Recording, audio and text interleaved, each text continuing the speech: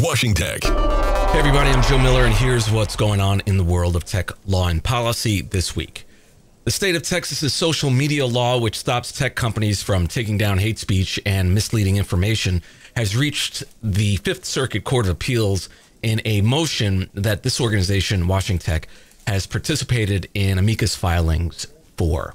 We agree with NetChoice and the Computer and Communications Industry Association, CCIA, that this law impinges on platforms' First Amendment rights and the discretion Section 230 of the Communications Decency Act affords them to moderate content posted by third parties on their platforms. It would allow traditional media platforms like Fox News to ban progressive voices but require competing online platforms to host politically motivated harmful content, including election misinformation. Cyberscoop notes that abortion rights advocates' privacy rights are put in jeopardy by people search websites like BeenVerified, which share personal contact information.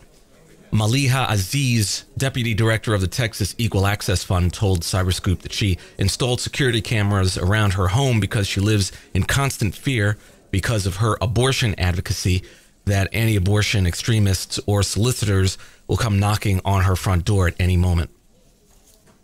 Several brands, as many as 30 to be exact, have had to limit their advertising on Twitter after Reuters found their ads showing up next to solicitations by pedophiles for content depicting child abuse. Disney, Coca Cola, NBC, Universal, PBS are just some of the companies that were affected. Finally, privacy advocates are pushing back about daycare apps that let parents and caregivers stream videos of their babies in daycare.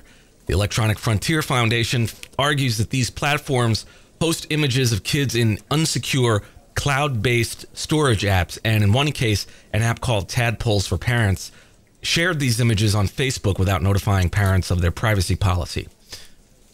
To go deeper, you can find links to all these stories in the show notes. Stay safe, stay informed. Have a great week. Ciao.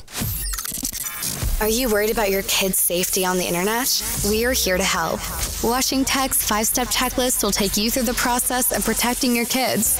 And we'll give you tips on how to set up the best parental controls for your children on their devices. You want what's best for your children. They deserve to be safe online. Our step by step guide will help you make sure they are. Download WashingTech's online safety checklist today to protect your kids online. Find it at protectyourkids.online. That's protectyourkids.online.